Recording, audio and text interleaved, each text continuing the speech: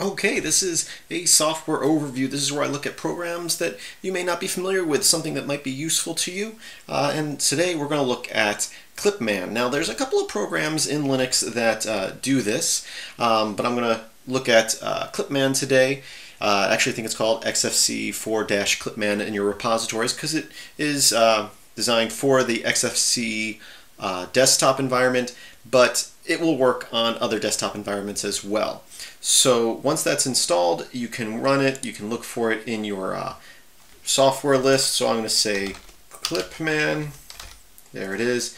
And once I click that, you'll see that the icon down here by my clock appears. It says Clipman, and it looks like a clipboard. When I click on it, uh, let me clear out because it has some previous stuff in it. You can see by default it will say clipboard is empty and there'll be a, a clear button you can't click. So at this point, I can start highlighting stuff and I can press Control C to copy, highlight, Control C to copy, highlight, Control C to copy. So I just copied three different things. And of course I can go into a text editor here and I can Control V and paste the last thing I, I copied. Well, Clipman keeps a history of things you've copied. So I can go back here and I go, oh, now I want to go back and paste this. And now I want to paste this.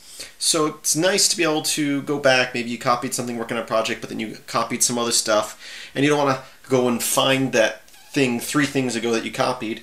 It will all be here in your history, uh, and you can obviously clear this out at any point, which is important to think about if you ever copy something important like a social security number or a credit card number. You don't want that laying around in your history.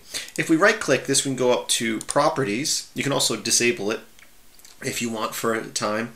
Uh, you can change the history size. By default, it's going to remember the last 10 things you copied. You can have it save on quit, uh, store the last copied images enabled by default, and ignore selections.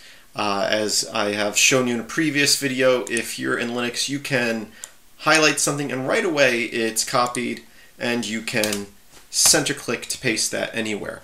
So by default, uh, Clipman's ignoring those, which is good because again, you might be highlighting a lot of stuff that might be private information and you don't want it sitting around in a history.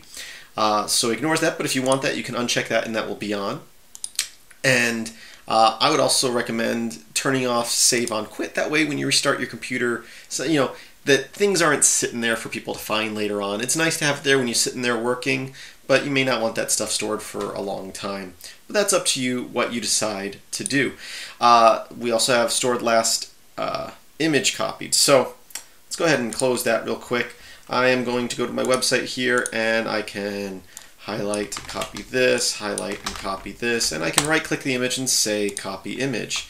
Now I can open up something like GIMP, image editor, create a new image, and I can, let me copy the text there, and then I'll go in and I'll create text here, control V to paste the text.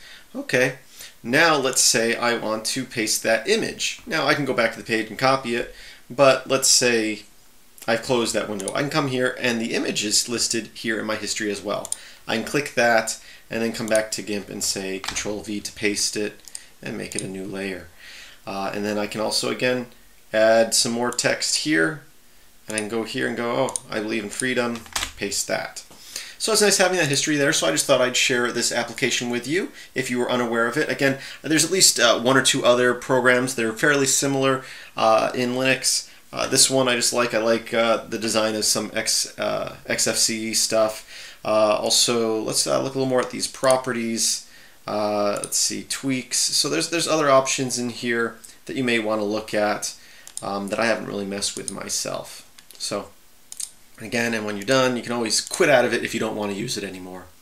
So I thank you for watching this. Maybe this program will be useful to you. And as always, uh, please visit my website, filmsbykris.com. That's Kris a K. Uh, check out the link in the description. And I hope that you have a great day.